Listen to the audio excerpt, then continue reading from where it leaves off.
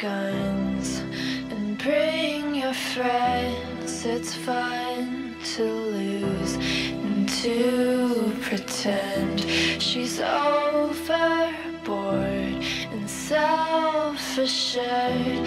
I know.